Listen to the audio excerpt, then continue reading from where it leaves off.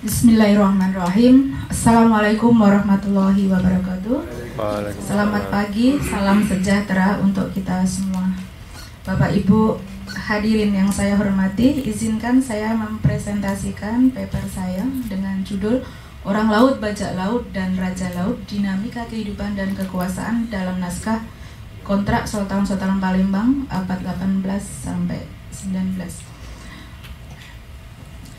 Salah satu naskah yang sangat memberi kontribusi terhadap sejarah eh, khususnya Palembang adalah naskah tentang kontrak-kontrak Sultan Palembang dengan eh, VOC maupun nanti eh, Belanda. Sebagaimana diketahui bahwa eh, kerajaan Sriwijaya maupun nanti Kesultanan Palembang sebagai kerajaan eh, maritim tentunya di sini sangat mempunyai dampak yang besar karena nanti Palembang menjadi incaran bangsa-bangsa imperialis khususnya Belanda dan Inggris. Banyak referensi yang telah uh, menyebutkan atau kajian-kajian sebelumnya tentang Sriwijaya yang wilayah ini dikenal mempunyai hasil bumi yang melimpah sebagai bahan dagang yang berharga, terutama rempah-rempah. Selanjutnya, masa Kesultanan Palembang demikian juga. Palembang menghasilkan komoditi yang sangat dibutuhkan baik oleh pasar domestik maupun internasional. Hal ini menguntungkan bagi Palembang Uh, tetapi demikian juga sebenarnya sebagai ancaman karena Palembang kemudian menjadi incaran bangsa imperialis ini, khususnya Belanda dan Inggris. Adapun komoditi uh, primadona yang dihasilkan dari Palembang adalah lada dan timah. Nah, informasi mengenai komoditas uh, lada dan timah ini banyak ditemukan saya baca dalam teks kontrak kontrak Sultan Palembang ini di mana nanti perdagangan lada dan dan timah bisa kita konstruk dari sumber teks naskah tersebut. Diketahui juga bahwa awal abad 15 eh, kebutuhan Eropa itu akan lada meningkat beberapa kali lipat seperti itu.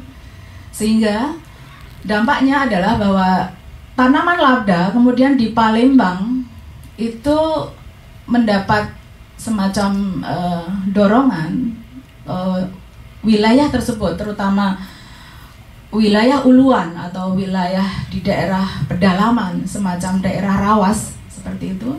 Dan kemudian juga Bangka dan Belitung yang pada masa lalu Bangka dan Belitung adalah uh, wilayah bagian dari Kesultanan Palembang Bangka Belitung baru nanti tahun 2000 itu memisahkan diri menjadi daerah yang otonom dari Sumatera Selatan.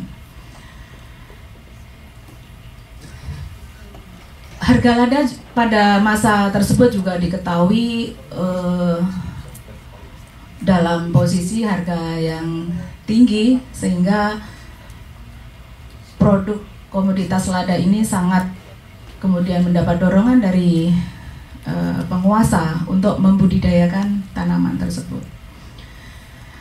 Kebijakan Sultan tersebut rupanya menjadikan Kesultanan Palembang salah satu uh, penghasil lada terpenting dan konsekuensinya kemudian Palembang didatangi oleh uh, imperialis.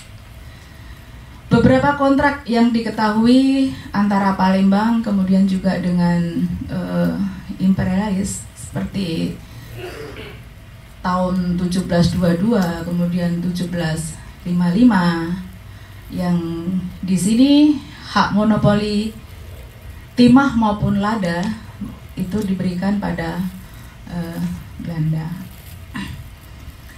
Uh, informasi mengenai komoditas timah di Eh, Bangka Belitung itu sejak tahun ketika ditemukan timah ya tahun 1709 atau 1710 kemudian uh, timah sebagai komoditi yang sangat uh, besar gitu ya bagi pihak penguasa Kesultanan Palembang. Nah, beberapa contoh tentang kontrak-kontrak yang diadakan uh, pihak uh, Kesultanan, kesepakatan-kesepakatan tersebut itu sebagaimana saya contohkan adalah kontrak pada tanggal 10 September tahun 1755 itu menyebutkan bahwa uh, komoditas lada timah itu uh, dibincangkan dalam isi kontrak tersebut. Yang intinya adalah kesepakatan-kesepakatan antara uh, bagaimana perdagangan tersebut uh, dianggap supaya saling menguntungkan seperti itu ya. Itulah uh, diadakannya kesepakatan tersebut. Ini salah satu teks dari beberapa teks yang saya sudah baca, tapi mohon maaf ini versi kopi karena uh, teksnya sudah dalam kondisi rusak sebenarnya dan hanya bisa dibaca di tempat. Kalaupun di kopi itu tintanya sudah uh, apa kertas sudah dimakan tinta seperti itu.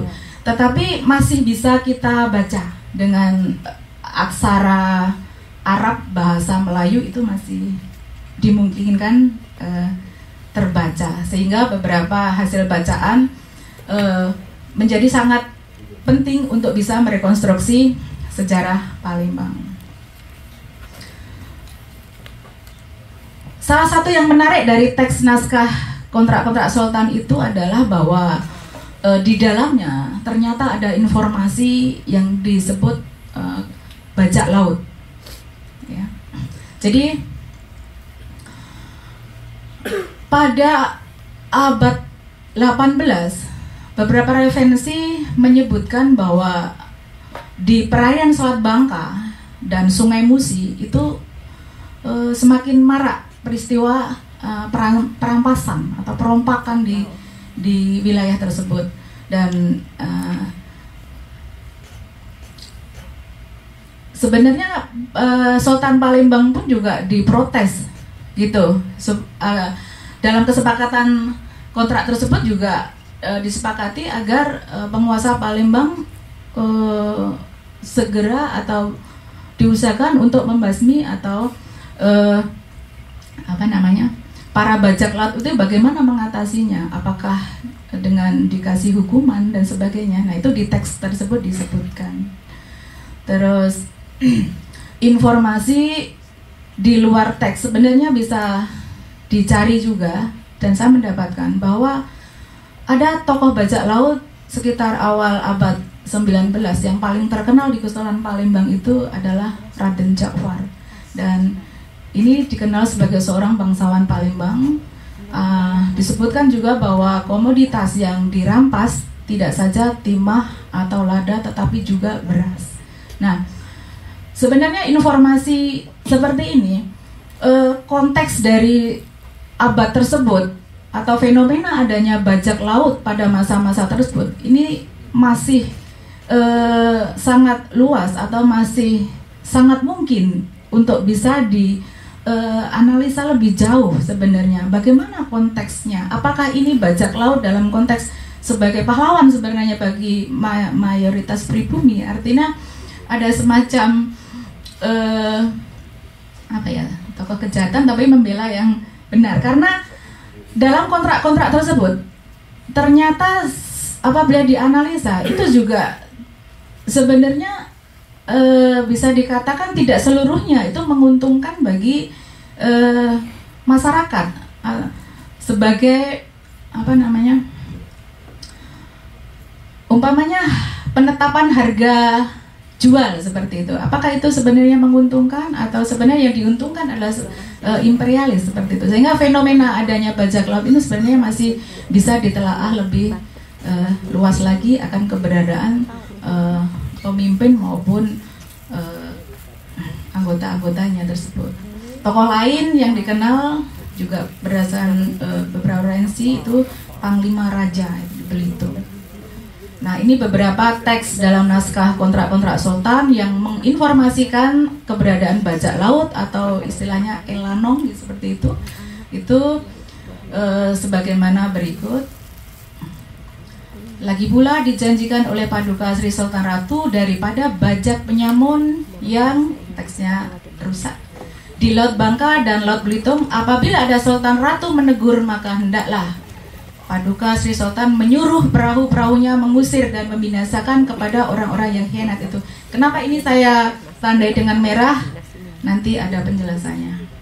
Ini eh, kontrak yang lain berupa eh, perbaikan gitu ya. Ada yang dibuat di tahun sesudahnya terhadap Eh, kesepakatan-kesepakatan masa lalu yang yang kemudian diperbaharui karena adanya uh, kesepakatan yang baru lagi. Ini juga menginformasikan tentang adanya perompak atau bajak laut. Ini teksnya juga contoh-contohnya. Kemudian sekarang tentang orang laut. Sebenarnya uh, konsep orang laut ini tidak ditemukan dalam teks naskah ini, tetapi dalam konstruk konteks bahwa dinamika kehidupan bahari antara Sungai Musi kemudian ke Selat Bangka dalam konteks kekuasaan e, pada masa Kesultanan Palembang maupun Sriwijaya itu nanti bisa ditelusuri bahwa juga ada satu sisi kehidupan yang disebut adalah e, orang laut. Siapa orang laut itu? E, beberapa beberapa referensi yang sudah uh, bisa didapat ternyata di Bangka Belitung itu ada salah satu suku yang dikenal yakni suku Sekak gitu ya uh, ini dikenal sebagai ahli laut nah di masa lalu pekerjaan mereka adalah memandu kapal-kapal yang melewati perairan Bangka Belitung kemudian uh, mereka dibutuhkan sebagai juru seberang yang menguasai perairan setempat Eh, sebagai pemandu kapal. Nah, kebanyakan orang ini juga berprofesi sebagai nelayan. Nah, ini informasi adanya uh, orang laut. Yang menarik juga bahwa sebagian orang laut ini ternyata juga sebagai bajak laut, ya, seperti itu. Nah, ah, Ya, ini ada beberapa informasi yang menyebutkan uh, bahwa ketika masa pemerintahan kolonial nanti ya di Palembang juga keberadaan uh, bajak laut ini masih sangat uh, eksis seperti itu.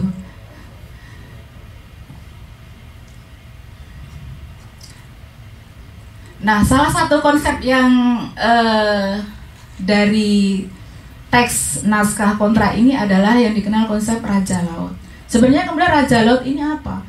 Konsep ini uh, sebenarnya konsep ini sudah dikemukakan sebagai kajian dari Bapak Abelapian ya dalam konsep yang sama, tetapi dinamikanya di perairan uh, Sulawesi.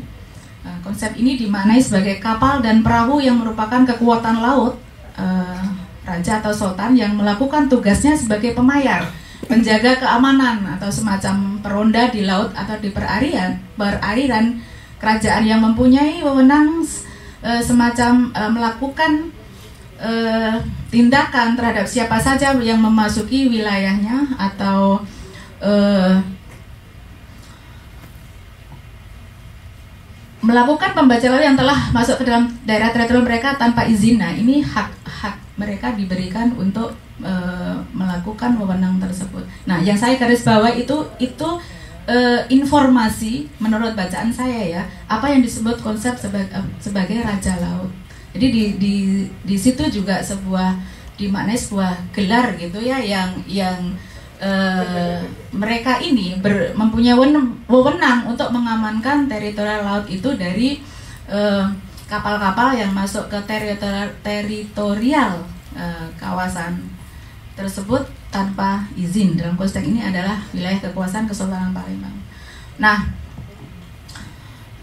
uh, sedikit yang bisa saya simpulkan bahwa melalui manuskrip uh, tersebut sejarah kawasan Palembang sebagai kawasan maritim ternyata bisa diungkap dinamika kehidupan masyarakatnya Nah, pada abad 18 dapat diketahui semakin maraknya peristiwa perampasan di perairan Selat Bangka dan Sungai Musi oleh para bajak laut ini atau Elano.